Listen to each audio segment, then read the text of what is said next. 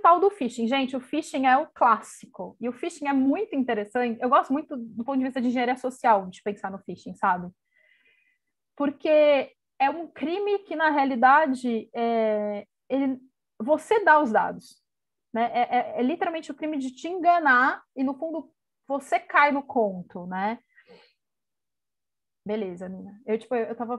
Cadê a Nina? Acho que ela voltou é, o crime de enganar as pessoas para que elas compartilhem informação. Então, você, na realidade, é, é, o, o, phishing ele reside em você violar uma relação de confiança ou você construir uma relação de confiança onde, ela não deveria existir. Então, por exemplo, é, técnica que vai confundir destinatário é, e que dá uma sensação de urgência. Do tipo, a, você recebe um e-mail de alguém que parece um e-mail que deveria ser de alguém que você conhece, mas se ele tem algum detalhezinho diferente, fala, nossa, eu tô super precisando de um, sei lá, aconteceu um acidente, tô aqui, preciso de um, de, de tô sem dinheiro, faz um pix para mim. Sabe uma coisa assim? Ou isso por WhatsApp, ou por e-mail, ou por SMS, enfim, você recebe isso, e isso na realidade vem de uma pessoa que você parece que é uma pessoa que você conhece, que existe, etc., só que não é exatamente. É, links que vão para um site que parece com o site original, mas ele não é, então tem uma manipulaçãozinha de URL. Então, isso também é muito comum, pra, porque no fundo é isso, né? Você viola essa relação de confiança. Você acha que você está conversando com alguém, é, recebendo uma mensagem de alguém, entrando no site de uma certa organização, e na realidade não é exatamente isso. Então, aqui eu vou mostrar para você um, um phishing, para vocês, um phishing que eu, eu recebi, tá? É, a gente tem é, a empresa que, que eu a gente, não, não, não coloquei no começo, mas eu tenho uma empresa que faz consultoria análise de dados também, que é a ASCII-AR. E nosso domínio é XYZ, porque eu acho bonitinho um monte de, de letras de, de, variáveis. E aí, a gente usa um, um domínio que é, de fato, é um domínio, esse e-mail está escrito em francês, ele de fato é um domínio francês mesmo, tudo bem, e é o Gandinet. Então, aí, beleza, recebemos isso. Mas o que, que acontece? Esse é o e-mail que eu recebi, em princípio tá tudo bem, só que falou que meu domínio tinha expirado.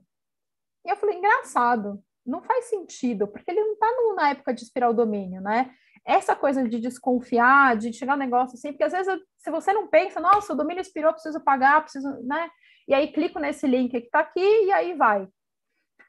Aí olhando né, um pouco mais cuidado. A gente, por exemplo, agora aqui, é, é, olhando o cabeçalho com cuidado desse meio, a hora que a gente olha esse cabeçalho, tem um monte de coisa aqui, mas aí, dando um highlight para vocês, olha só, na hora de, de responder, né? Tá vendo? Deliver to Diego, que é o meu sócio, e aí a gente responderia no arroba o3msrl.com. Não é um. Apesar de o from tá vindo de um payment Gandinet, aparentemente, né, tipo, o label dele tá assim, o e-mail original não é Gandinet. Então, esse é o tipo, esse é o típico phishing, que eu manipulo um pouco o, o nome que aparece para você, mas o e-mail, de fato, de quem está vindo, não é o e-mail que aparece para mim. Então, a gente precisa olhar com cuidado os cabeçalhos. E aí, como que você vai? Você vai olhar todos os cabeçalhos sempre? Em geral, você não faz isso, mas é, precisa ter um pouco do desconfiômetro. Se você está tendo uma conversa com aquela pessoa há dois, três dias, você vai e volta, vai e volta, beleza. Agora chega um e-mail do nada, de uma coisa estranha, você tem que dar essa olhadinha. Então, eu deixei aqui, ó, todos os nossos. Essa apresentação depois vai ficar disponível, tá? É, todas as coisas que são uma coisa. Tem algum tipo de dica de, de tutorialzinho e tal, vai ter essas mãozinhas em cima, que é uma coisa para vocês fazerem, se vocês quiserem, tá?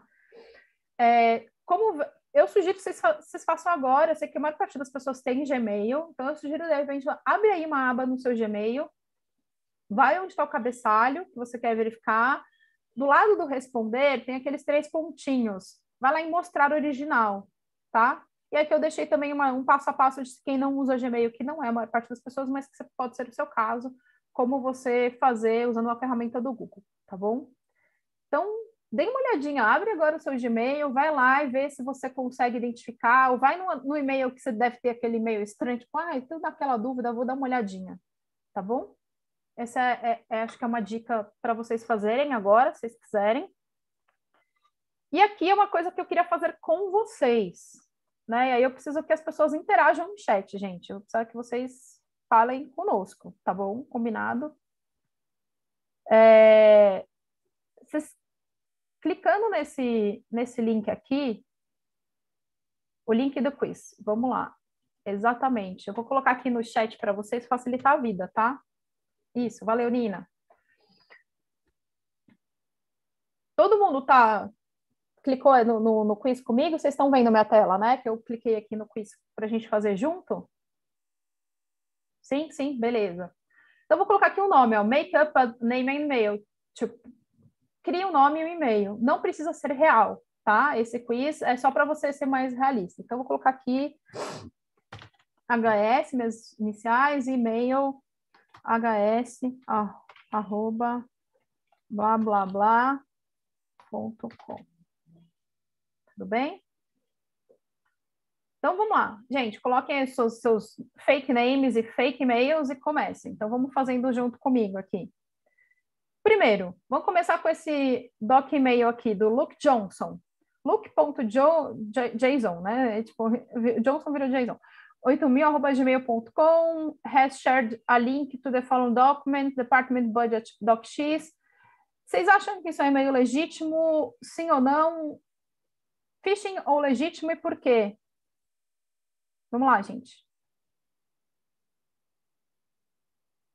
Legítimo porque é um link do Google. Como que você viu que é um link do Google, Rafael?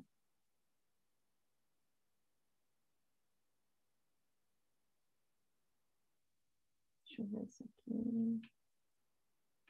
Eu aumentei um pouquinho a tela, não sei se ajudou aí quem falou que estava pequena. Bedes, talvez você consiga botar em tela cheia. É que estou no navegador, né? Não estou na apresentação. Eu acho que, que dá no, no, nos tracinhos ali do lado, a F11. Talvez melhore para o pessoal ver, porque tem gente que talvez esteja no celular. Também. Assim? Aí... Não sei se aumentou muito, mas. É, não aumentou muito, mas ficou mais em tela cheia. Se der para dar um zoom mais, talvez melhore, mas senão acho que já deu um, um adianto. Uh, o URL é fake. A URL do botão tem dois hífens, porque está em docx. Não, não é porque está em docx, não, mas é. Mas, ó, exatamente, ó, drive hífen hífen google.com. O, o, o link do drive do Google não é drive hífen hífen google.com, certo? É drive.google.com. Então, é um phishing. E aí, o que eu acho legal desse quiz é que ele mostra, tá vendo? Show me mousing over this link, então passando o, o mouse aqui e você vai ver que é uma imitação ó, do domínio drive hífen, google.com, não é um domínio válido de drive, entendeu? Mas é para vocês irem fazendo aí também, tá? Para acompanharem comigo. Esse próximo, fax message, no reply, admin. No reply, arroba efax.com. You received a one page fax. Então, aí, dá uma olhadinha aqui. Vocês acham que é um e-mail legítimo, um e-mail phishing ou fake?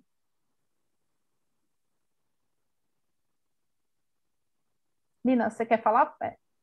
Não, vocês estão me ouvindo? Agora bem baixinho, pode falar. Ah, tá. Não, não, era só para testar meu áudio, porque eu caí e voltei correndo. Quem falou que é fake? Marcos, por que, que é fake?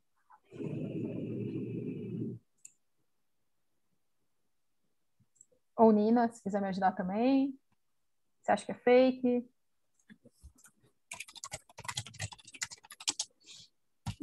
Ah, não vai dar cola, boa.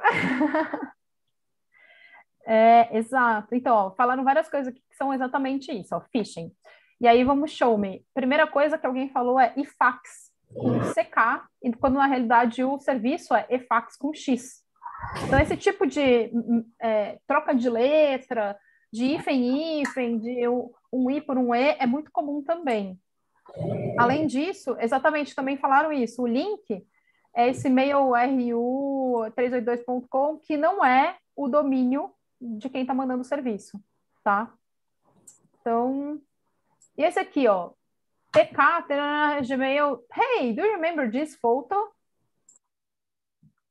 E aí eu toco aqui, ó, eu passo o mouse, percebam que é isso que vocês devem fazer quando vocês receberem, né? Você não clica no link, você põe o mouse sobre o link E tá vendo que lá embaixo aparece o link, né, para onde vai se você clicar. Eu não cliquei, eu só tô com o mouse por cima. drive.google.com.do.ponto.citex.net. Então, no fundo, o domínio, apesar de começar com drive google.com, não é google.com. O domínio real disso é aquele finzinho, sitex.net. Certo? Phishing. Correct? Phishing. Boa. Então, aqui, ó, o URL, na realidade, aponta para outro lugar que não é o Google Drive. Dropbox. Esse do Dropbox, vocês acham que é legítimo ou é fake? Então, Dropbox, no reply, arroba dropboxmail.com. Bem, esse, esse e-mail me parece ok. Vamos ver o resto. Legítimo? Vai direto para o Dropbox. Ó, passando aqui, ó, Dropbox. Então, novamente, eu não cliquei no botão, eu estou passando o mouse sobre o botão. dropbox.com.br. Bem, parece que sim. Get more space, dropbox.com também. Estou passando sobre os links. Legítimo. Exato, gente, legítimo. Então, acho que vocês sacaram um pouco como funciona. Eu vou fazer as próximas mais rápido, tá bom? Next. Sharon Mosley. Sharon Mosley, arroba e mandou um PDF 2021 FAR.pdf. Qual que, que vocês acham desse aqui? Phishing ou legitimate?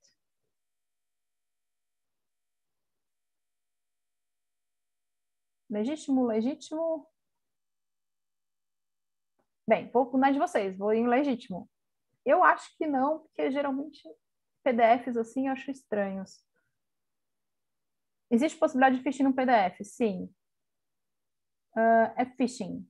Gente, decida, é phishing ou é legítimo? Ah, agora eu fiquei na dúvida. É, eu vou colocar aqui no phishing, porque eu acho que é phishing. É phishing, show me.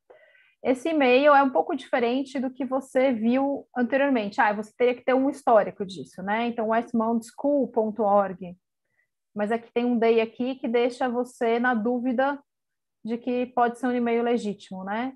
E sempre esteja é, com cuidado quando você abrir PDF, especialmente se você não está esperando. Esse aqui realmente ficava bem na dúvida para todo mundo.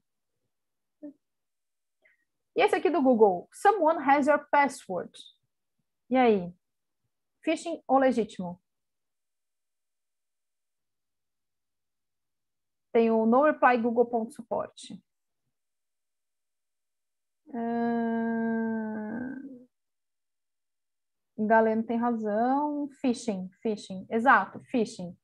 O google.suporte não é um, um domínio do Google. E aí é isso, gente. Poderia ser, né? Fica na dúvida mas não é. Então, você, pode buscar na internet também. Se tem dúvida, você sai do e-mail, busca na internet é, Google Support Email e vê se esse e-mail é um e-mail que faz sentido. Até porque é um e-mail de alguém tem a sua senha, né? Vale você fazer essa pesquisa na internet, tá bom? É, e esse link vai para um domínio que é mlmysecurity.org, que não é o Google. Portanto, não é do Google. E esse outro do Google aqui também, a gente já falou antes, né? Esse Google.suporte já não, não é um e-mail é, que é do Google, então, phishing. Certo? Aqui também, change password é tricky, né? Porque é um link que vai para o tinyurl.com. E esse aqui de é, que é um serviço do Google que fala assim, é Hi HS, que é o nome que eu dei, hs blá blá blá.com, que é o e-mail que eu dei, é, quer ver uma mensagem sua. E aí, é verdade esse é aqui ou é phishing?